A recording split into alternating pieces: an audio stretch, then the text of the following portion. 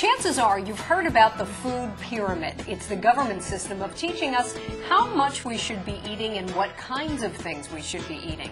It was developed by scientists and doctors. It's been taught in our schools for years. But two years ago, the food pyramid got a makeover and it went high tech. So what does it mean and how can it help you?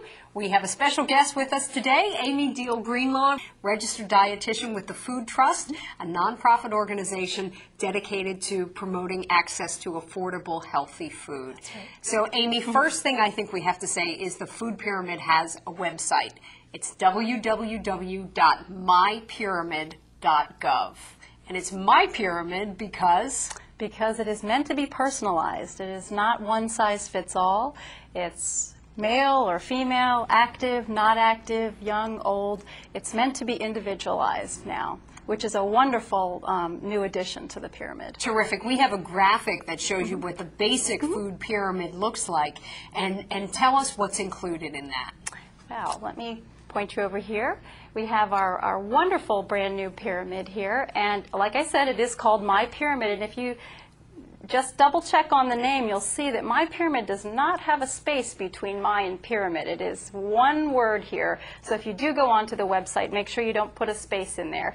And it's got all the food groups listed, the same five food groups that have always been on the Food Guide Pyramid, just look a little different. We've got the grains, the vegetables, the fruits, we have a little skinny yellow line here that represents oils. It's not a food group, it's just a part of a healthy diet. We have the milk, the milk and um, yogurt and cheese group, and we have the meat and beans group.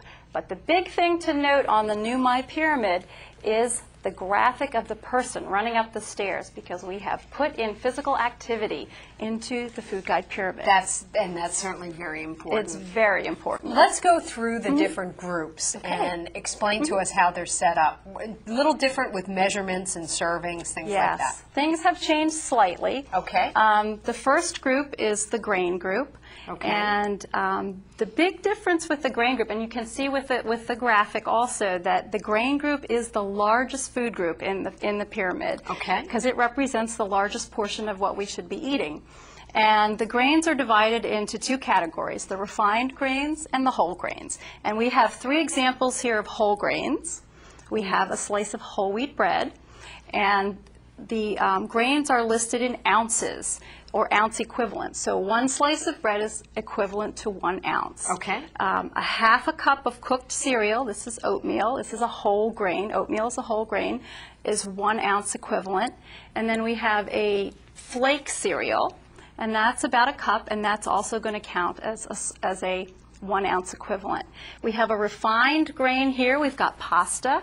It's white pasta, so it's a refined grain. Okay. And that would be one um, a, a, an ounce equivalent And how well. do we know how many of these we're allowed to eat or are supposed to eat, I should say? Well, when you personalize it, you'll get a calorie level, and each calorie level is divided up into different food groups, and it will tell you how many um, ounces or cups that you need from each of those food groups. So we go onto the pyramid That and we correct. find out how many slices of bread, for instance, whole grains. Okay, let's keep moving through these. The next group? The next group on the pyramid is the vegetable group, Okay. which is the next more, most important group, eating lots of vegetables. Okay. And uh, vegetables are divided into five subcategories. We have a couple of them represented here. Dark orange, dark orange ones. We have the carrots, there, carrots. and dark green vegetables. Okay. And the dark green vegetables are very important, as are the dark orange, because they're especially high in vitamin A and fiber and lots of other phytonutrients. So that's a vegetable group Great. that we're really focused on here. Fruit. The fruit group comes next in the food guide pyramid. And this is a nice representation of different types of fruit here. We've got fresh fruit, we have some um, whole fresh fruit, we have some cut up fresh fruit, and we have some dried fruit. Okay. All of these are wonderful choices um, from the fruit group, and Excellent. these also represent different um, portion sizes. Just a notation on the dried fruit. Just We quarter want to go small on the dried fruit in terms of portion size. Because it's got lots of calories. Because it's concentrated, because it's been dehydrated. Terrific. Milk. The milk and dairy group, we have basically three foods here. We've got the um, milk and this is a yogurt. This is a flavored yogurt. Great. And we have some cheese. And the thing to emphasize with these high calcium foods here is that we're looking for the low fat or non fat versions of Okay, them. great. Meats and beans. The meats and beans group. The meats and beans group are our protein foods. These are our, our um, high sources of protein. So we have the actual meat here. We have dried beans. We have some kidney beans here. Um, a half a cup of uh, cooked dried bean is a um, two ounces equivalent for, for the meat group. Okay. An egg, one egg is a one ounce equivalent. Um, this is peanut butter. Two tablespoons. Well, one tablespoon, tablespoon. one tablespoon equals a one ounce equivalent. Okay. People might typically eat two tablespoons, so Right. that would count as, as two. And we have some seeds here. So Okay. nuts and seeds, about a half an ounce of nuts and seeds also equals a one ounce equivalent Great. of meat. Okay, and then the oils group, and we're measuring those in Teaspoons. In That's the little one. Those are the little ones. That's here's, the- here's our teaspoon here. Okay. Okay, that's that important to note. There, the teaspoon right there. Okay. Yes. So, how can you personalize my pyramid to fit your needs? Well, if you go on to their website, mypyramid.gov, Okay. and you go on um, on the right section, it says My Pyramid Plan, and you click on it, and we'll ask you for your age, your gender, and ask you to describe your physical activity level. Okay. And then it will shoot out a calorie level, and then it will present to you, and I'll show you right here. Oh, wow, and it tells you exactly how much you need of each yes. one. It will show you exactly how much you need. And this was an example of, of um, a 47-year-old male who was moderately active and weighed a certain weight, and it shoots out how many Amy, some servings. basic principles Mm-hmm. to take away for people quickly in the in the minute we have left. We want to make some smart choices, I guess. Absolutely smart choices. Everything counts.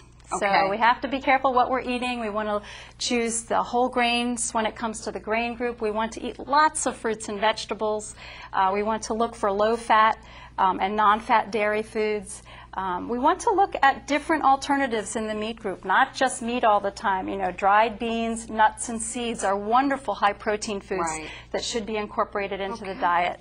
Great. All right. So for more information, we want to remind people to visit mypyramid.gov. And for more information about Mission Good Nutrition, we want you to log on to www.pottstownfoundation.org. We've got lots of good information there. The new food pyramid has something for everyone. It's called My Pyramid, www.mypyramid.gov, because you can personalize it based on your gender, age, and activity level. Remember, the key is balance lots of whole grains, lean protein, fruits and vegetables, and a diet low in fat.